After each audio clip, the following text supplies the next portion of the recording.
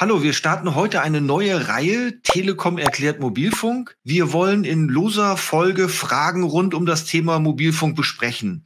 Und da ich das nicht alleine kann, habe ich mir einen unserer Experten eingeladen und das ist der Dennis Lehmacher.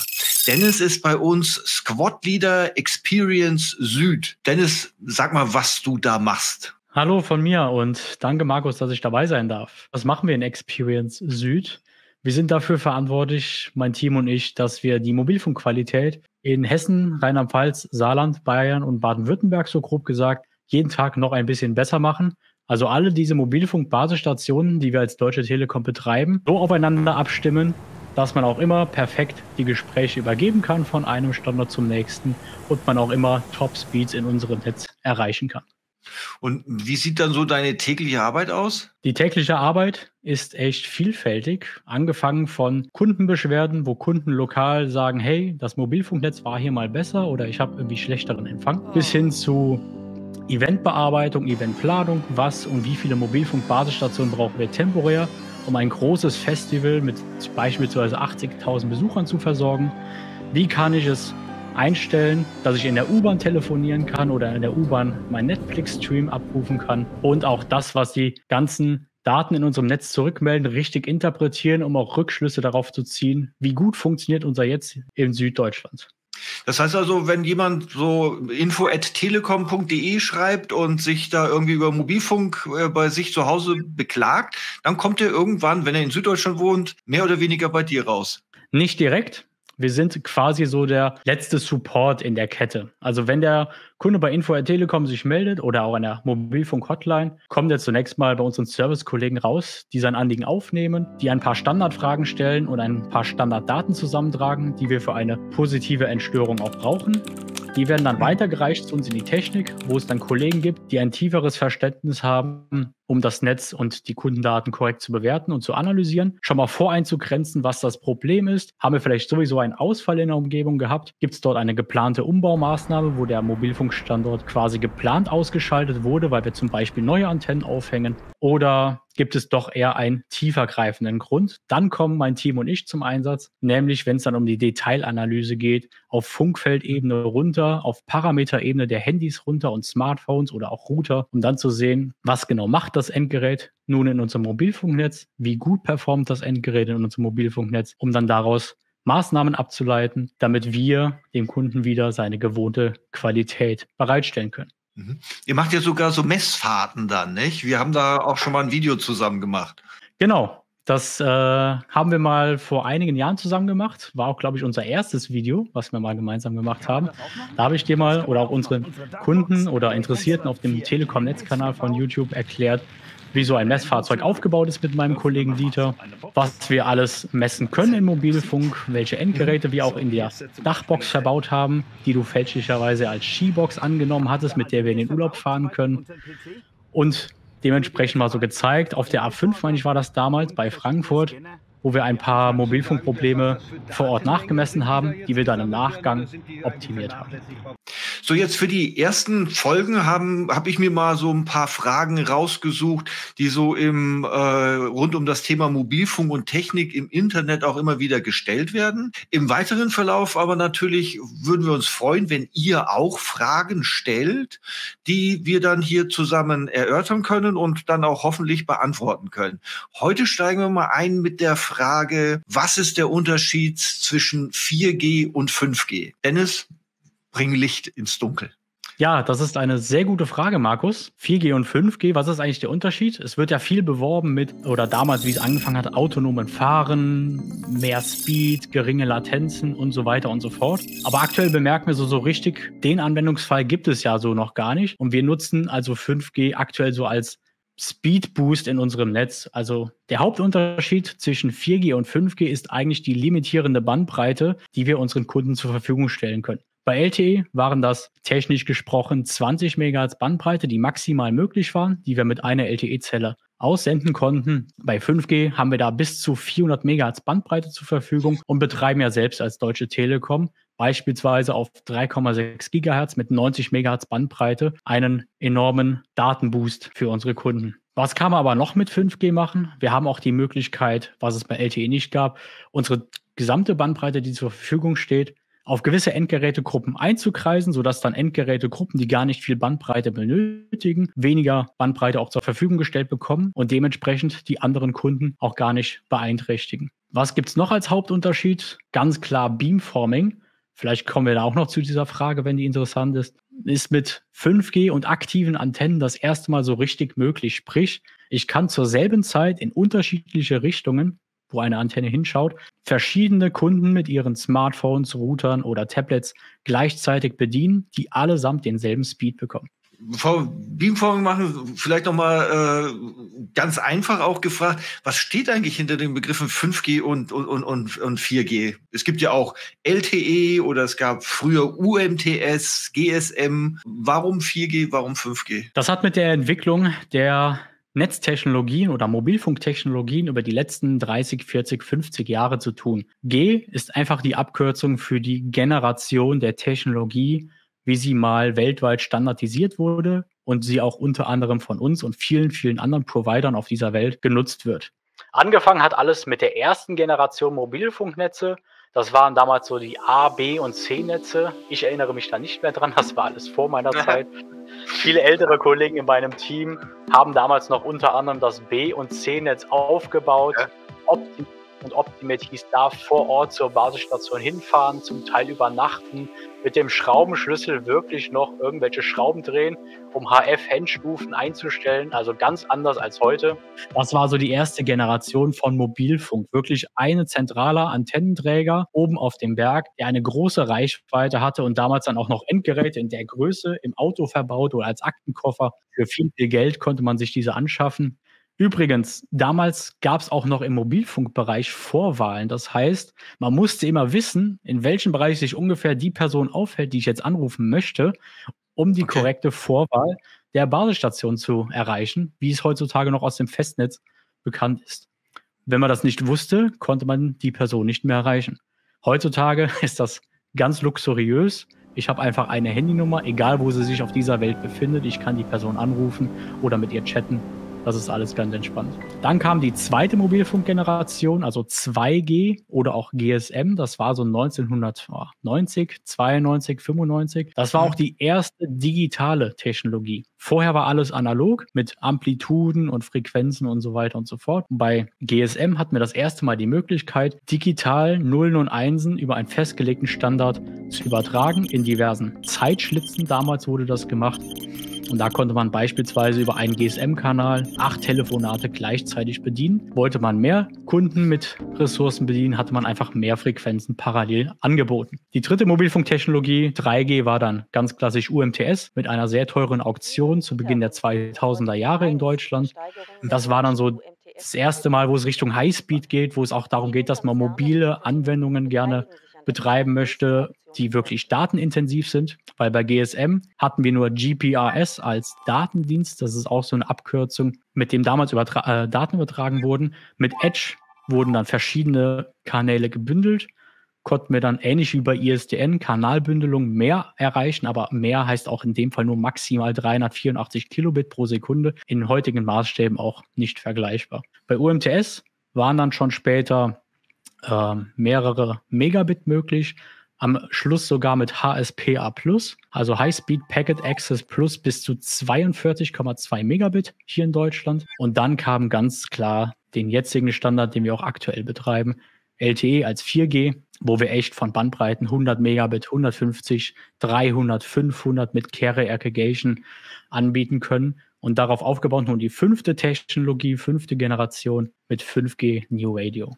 Da, also ich erinnere mich tatsächlich noch an äh, Laptop-Karten, GPRS und äh, auch tatsächlich an die Einführung, wo wir äh, Edge dann flächendeckend dann auch ausgerollt haben. Ich meine, das erste iPhone konnte auch, das konnte Edge. Das konnte nicht UMTS genau. damals, sondern das konnte Edge. Und deshalb genau. lief das in unserem Netz auch besonders gut. Und das war damals tatsächlich etwas, was an Geschwindigkeit einfach spürbar war vom, vom Seitenaufbau. Es gab ja bei den alten Geräten sogar noch mal die Zeit, wo man Bilder und so weiter ausgeschaltet hat, damit sich die Seite dann schneller aufgebaut hat. Und da war es dann zum ersten Mal mit dem iPhone und Edge so, dass man auch sich ja wirklich bewegen konnte und nicht nur in der Stadt, sondern auch wenn man irgendwo ähm, äh, zwischendurch dann äh, im ländlichen Raum unterwegs war, hatte man immer so eine äh, gleichmäßige äh, Geschwindigkeit. Aber wie gesagt, das konnte man, das war damals doch noch so was, was man tatsächlich erfahren könnte, äh, konnte. Kann ich das heute? Merke ich das auch, ob ich in einer 4G-Zelle oder in einer 5G-Zelle bin als Nutzer normal? Das merkst du als normaler Endkunde heutzutage überhaupt nicht beim normalen Seitenaufbau, wenn du im Web surfst oder wenn du Spotify-Streaming betreibst, wenn du unterwegs im Zug Netflix schaust oder am Bahnhof stehst und deine Textnachrichten absendest oder WhatsApp-Calls absetzt, da merkst du gar keinen wirklichen Unterschied. Wo du es nachher dann auf jeden Fall merkst, wo dann der Vorteil der Bandbreite von 5G zum Tragen kommt, ist zum Beispiel in Stadien, in Zonen, oder in, in Hotspots in Innenstädten oder auch auf Events, die auf dem Land stattfinden, beispielsweise Wacken, überall bekannt in Deutschland, das große Wacken Open Air. Da merkst du, wenn sich viele, viele Menschen auf kleinem Raum sammeln, dass die LTE-Kapazität irgendwann nicht mehr ausreichend ist. Wenn du dann aber 5G zur Verfügung hast, hast du die Möglichkeit, diese gesamte Datenmenge über diese 5G-Technologie zu übermitteln oder loszuwerden. Und dein LTE wird gar nicht so stark belastet, wie es früher mal der Fall war. Und wie sieht es mit der Abdeckung aus, mit der Verfügbarkeit? Gibt es da Unterschiede zwischen 4G äh, und 5G? Inzwischen auch nicht mehr so groß. Wir als Telekom bieten bundesweit in Deutschland das größte 5G-Netz an, sei es mit 3,6 Gigahertz in Innenstädten oder in, in dicht besiedelten Bereichen mit unseren aktiven Antennen, sei es mit dem Dynamic Spectrum Sharing, also gemeinsam ein LTE-Carrier und einen 5G-Carrier gemeinsam auf demselben Frequenzband genutzt oder auch mhm. mit 700 Megahertz im Low-Band-Bereich, wo wir sehr, sehr weit kommen, also auch auf dem ländlichen Gebiet eine sehr gute Abdeckung bereitstellen können. Über Frequenzen machen wir vielleicht auch nochmal eine Sendung, von ja. man die wo, wo man, wofür man die einsetzt. Jetzt mal äh, dann noch die Frage, man sagt immer Mobilfunkstandards. Was beinhaltet so ein Standard? Wie wird der festgelegt? Für wen gilt der? Was steht da drinne? Standard ist ein gutes Stichwort, weil würden jetzt auf der Welt verschiedene Unternehmen, Provider meinen, hey, lasst uns doch mal Mobilfunk anbieten. Wir wollen unseren Leuten mobile Kommunikation in unserem Land ermöglichen. Dazu beauftragen wir einen Hersteller, der Ahnung hat, wie man diese Hardware baut, wie man die Software dazu baut. Und dann bauen wir uns ein paar Antennen auf und ein bisschen Technik unten hin, Strom dran, Glasfaser dran, fertig. Jetzt kommt aber dann jemand aus dem Nachbarland in dasselbe Land, will mit seinem Handy telefonieren und sein Nachbarland hat exakt denselben Weg gewählt, nur mit einem anderen Hersteller. So, und mhm. das Endgerät vom Nachbarland kann es in deinem Land nicht mehr telefonieren. Würde jeder machen, was er will. Da gab es vor einigen Jahren das Third Generation Partnership Project, kurz 3GPP, mit Konsortien und, und Unternehmensvertretern oder Providervertretern aus der ganzen Welt, wo wirklich Experten zusammengesetzt sind und sich Gedanken gemacht haben, hey, würden wir jetzt alle weltweit mobil kommunizieren wollen, lasst uns doch mal auf einen Standard einigen. Da ist das Wort wieder Standard. Was wird denn da standardisiert? In so einem Standard steht drin generell, wie ist so eine Basisstation beispielsweise aufgebaut oder welche Funktionen können über ein GSM-Netz abgebildet werden, über ein UMTS-Netz oder über ein LTE oder 5G-Netz. Dann die Kommunikation hinten dran. Wie muss das Kernnetz, also das Core hinten dran aussehen? Welche Elemente gibt es da? Wie werden Aufgaben verteilt? Gibt es einen großen Server, der sich um alles kümmert? Oder wird dieser große Server gesplittet in kleinere Server und jeder Server hat seine eigenen Aufgaben, die er zu erledigen hat? Oder machen wir alles virtuell, also bauen wir keine Server mehr dediziert auf, sondern bauen einfach nur noch eine Serverlandschaft oder ein Rechenzentrum. Und per Software sage ich dann einfach, ich brauche jetzt mehr oder weniger Ressourcen in meinem Kernnetzwerk, die das ermöglichen. Zweiter Punkt ist auch, was in diesem 3GPP-Konsortium beschlossen wird, welche Protokolle verwende ich denn, um mit dem Mobilgerät kommunizieren zu können, also zwischen Mobilgerät und Basisstation. Alle mhm. kennen es wahrscheinlich sehr, sehr gut. Der IP-Standard, das Internetprotokoll, auch schon sehr, sehr alt, ist auch ein Standard, der nämlich festlegt, wie Nullen und Einsen in einem Paket angeordnet sein müssen oder wie ein sogenannter Header, also vorneweg die Sequenz, die beschreibt, wie das Paket aussieht, welche Daten hinten dran sind. Das gibt es auch im LTE nämlich für LTE-Protokolle, die spezifisch nur dafür da sind, um im LTE zwischen Mobilgerät und Basisstation kommunizieren zu können. Und dann auch der Vorteil, welche Bandkombinationen, also in welchen Frequenzen arbeite ich denn mit meinem Endgerät. Und dann auch noch, die Interoperabilität, sprich, wenn ich jetzt von meinem Land in mein Nachbarland fahre, auch gewährleisten zu können. Mhm. Gerade in Europa, seit 2017, glaube ich, ist das auch Gott sei Dank keine Roaming-Kosten mehr für die Endkunden. Das heißt, ich kann mich ganz normal im EU-Raum bewegen und kann mein Internet und mein Telefon genauso nutzen wie zu Hause auch. Das sind so mal ganz grob paar Randpunkte angesprochen, die in so einem Standard behandelt werden, damit man auch weltweit überall dieselben Regeln hat und jeder auch in jedem Land agieren kann. Das funktioniert auch oder gibt es irgendwelche Länder, die da ausreißen? Mir persönlich ist jetzt kein Land bekannt, aber es gibt ja auch etablierte Hardware-Ausrüster weltweit, weil die gibt es auch nicht wie Sand am Meer.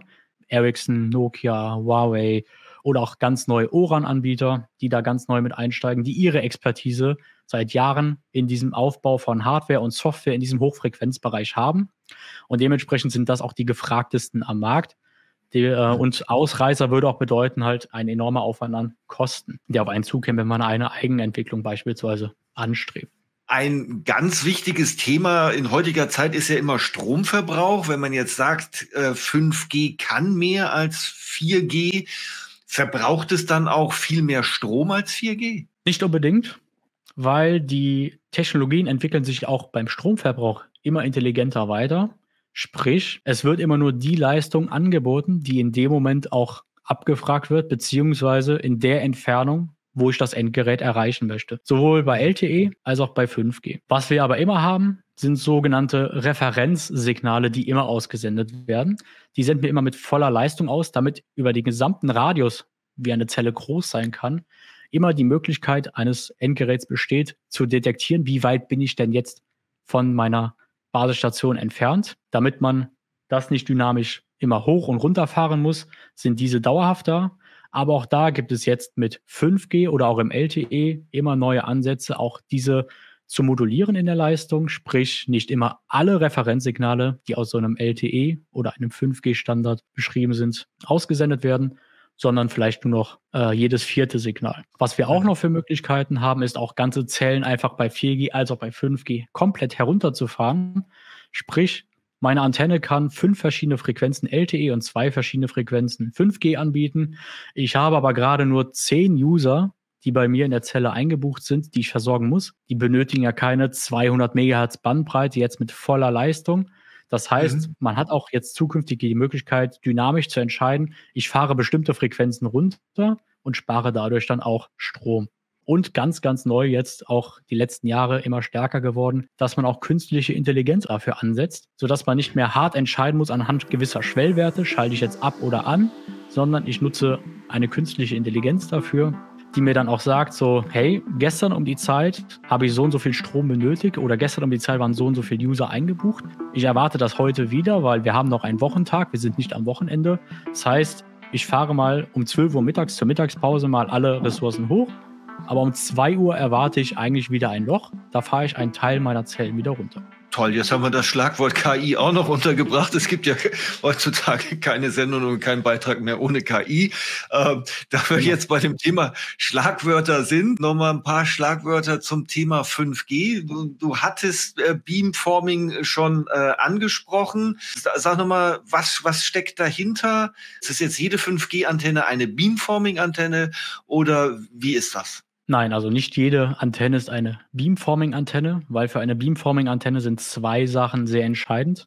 Erstens, ich brauche ganz, ganz viele Antennen, kleine Antennen oder sogenannte Dipole, um den Begriff aus der Physik zu verwenden, nebeneinander und übereinander in einem sogenannten Antennen-Array, damit das funktioniert. Und zum anderen brauche ich dafür halt auch Platz und möglichst auch keine Kabel dazwischen, sondern am besten sind diese Dipole direkt an meinem Board, was in dieser Technik verbaut ist, an, auf der Hardware verbaut ist, direkt an der Endstufe angeschlossen oder verlötet. Damit es keine Verluste gibt, damit wir auch möglichst in Echtzeit sind mit der Berechnung, wo ist jetzt das Endgerät, in welcher Richtung, in welche Richtung muss ich diesen Beam aussenden und kann dann dementsprechend agieren. Ein Beam ist aber eigentlich nichts anderes, als dass ich jetzt die Möglichkeit habe, wenn meine Antenne gerade ausguckt, softwaretechnisch horizontal in eine bestimmte Richtung mein Funkfeld zu lenken, als auch vertikal. Und natürlich dann auch diagonal. Früher, diese passiven Antennen, so nennen wir sie, diese langen weißen Antennenkörper, die immer auf Dächern oder an Masten verbaut sind, hatten ja. meistens ganz viele Dipolebenen übereinander, aber nur eine oder zwei nebeneinander. Damit ging Beamforming nicht. Aber wir haben ein rudimentäres Beamforming schon immer gemacht, nämlich dieses Tilt, haben wir auch schon mal vielleicht in dem einen oder anderen Video erläutert. Sprich, das Funkfeld statisch eingestellt und geneigt. Weil mhm. selten ist ja jeder Nutzer in einem Mobilfunknetz auf Höhe von 50 Metern des Mastes und macht da seine ganzen Anwendungen, ja. sondern die sind ja meistens unten. Haben wir auch zuletzt ja mal in Frankfurt erläutert vor einigen Jahren, wie wir uns auch da die Bebauung zunutze machen durch dieses Tilten der Antennen. Und jetzt mit der aktiven Antenne habe ich in diesem Antennen-Array die Möglichkeit, nehmen wir mal an, wir haben ein 8x8 Array, das heißt, ich habe acht Dipolspalten nebeneinander und acht ja. Dipolspalten übereinander. Kann ich jetzt das, was ich beim Tilt vorher statisch gemacht habe, dynamisch in alle Richtungen machen, weil ich kann ja nach links genauso agieren wie nach rechts, nach oben mhm. genauso agieren wie nach unten. Einer mit einem Joystick und fummelt da rum. Genau, genau. Jeden Mittag von 15 bis 16 Uhr sitze ich in meinem Büro, packe meinen Joystick aus und dann mache ich für die Stadt Frankfurt, stelle ich die Beams an. Nein, Spaß. Auch das hat sich Gott sei Dank weiterentwickelt. Das macht alles die Systemtechnik an sich des Herstellers, eine Software hinten dran, die detektiert, aus welcher Richtung empfängt, weil sie kann nämlich dann auch hören, aus welcher Richtung empfängt sie ein Signal stärker okay. in ihrem Antennen-Array. Sprich, okay. das ist jetzt unser Array.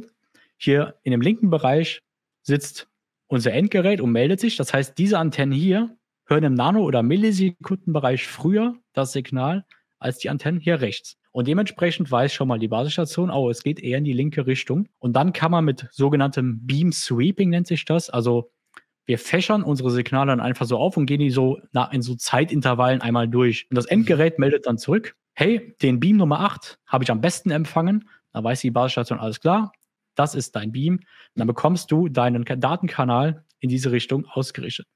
Gleichzeitig, mhm. wenn wir jetzt von links weggehen, hat ein Nutzer rechts von der Zelle oder von der Antenne die Möglichkeit, genau dieselben Datenmengen zur selben Zeit abzurufen, zur, auf derselben Frequenz.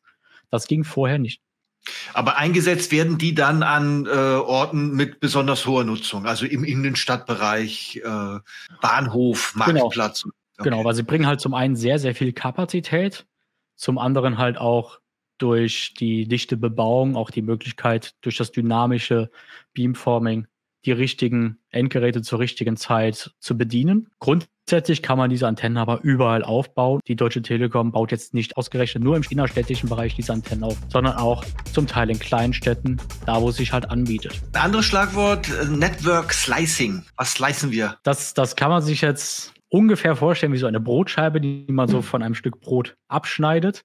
Nicht ja. aber, dass wir dann sagen, ja, jeder, jeder kriegt jetzt eine Brotscheibe von der Antenne angeboten, sondern wir können von der Basisstation ganz vorne bis ganz nach hinten ins Kernnetzwerk ja. dedizierten Ressourcenkanal anbieten für eine bestimmte Anwendung, für eine bestimmte Nutzergruppe, die zum mhm. Beispiel sagen, hey, ich brauche immer 10 Megabit pro Sekunde garantiert zu jeder Zeit, nicht mehr, aber auch nicht weniger. Das heißt, mhm. 5G erlaubt es dann im Standard, das Netzwerk zu slicen, also zu schlitzen. Das heißt, ich kann meine Ressourcen, die ich zur Verfügung habe, in diesem gesamten, in der gesamten Bandbreite einteilen. Dass ich dann zum Beispiel nur 20 Megahertz diesem einen Kunden oder dieser Kundengruppe zur Verfügung stelle, die jetzt datenintensive Anwendungen macht und die Ressourcen dafür benötigt. Aber die anderen Megahertz kann ich weiterhin beliebig bedienen und auch die Ressourcen aus dem Slice, wenn sie gerade nicht abgerufen werden, auch dynamisch wieder freigeben für alle Nutzer. Das geht dann bis zurück ins Kernnetzwerk, wo dann über eine Ende-zu-Ende-Kette sichergestellt ist, dass du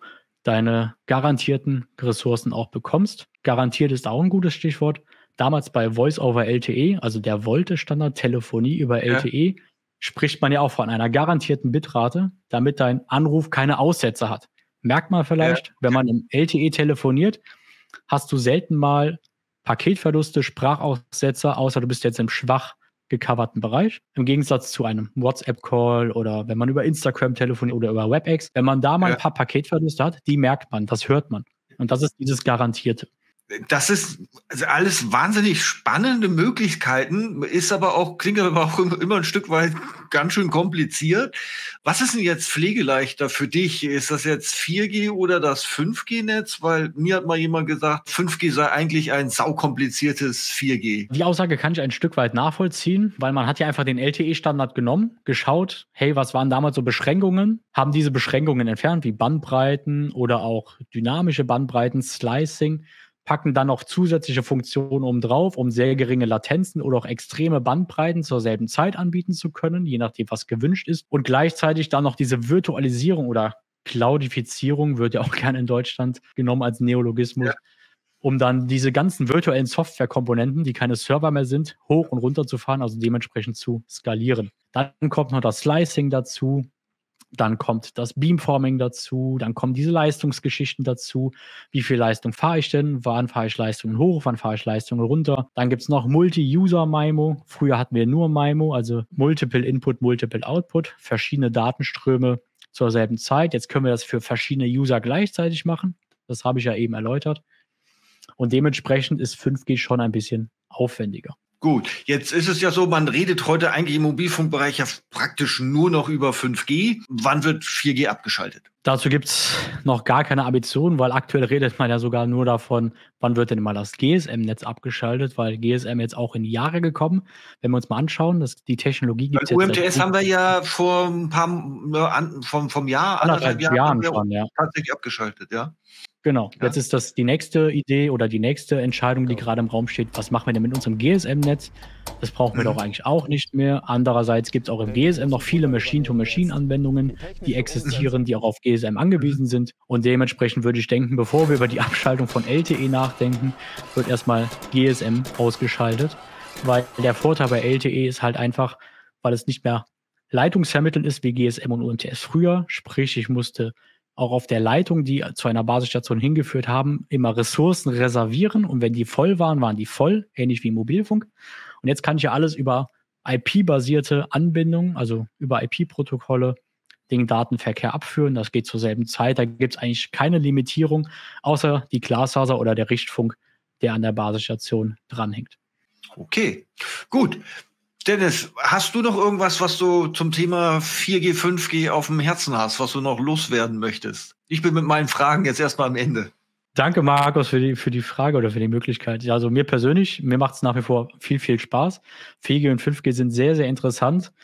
Aber auch wir beobachten, wenn wir jeden Tag versuchen, in Deutschland unseren Kunden immer was Besseres zu bieten, unser Netz besser zu machen, den Ausbau besser zu machen, dass auch Kollegen bei uns aus der Technik oder Kolleginnen bei uns aus der Technik und wir an die Grenzen kommen, wenn es halt um Genehmigungen geht, Laufzeiten geht, Gutachten geht und, und, und.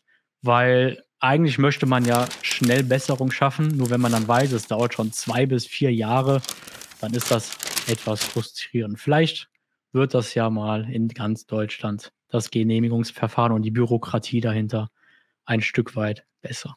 Das wünschen wir uns ja alle. Dennis, ganz herzlichen Dank jetzt erstmal heute für die Runde. Falls ihr Fragen habt zum Thema Mobilfunk und Technik, dann ab damit in die Kommentare. Und wie gesagt, wir werden dann gucken, ob der Dennis und ich das dann in einer der nächsten Runden dann beantworten kann. Bis dahin sage ich Tschüss. Ciao.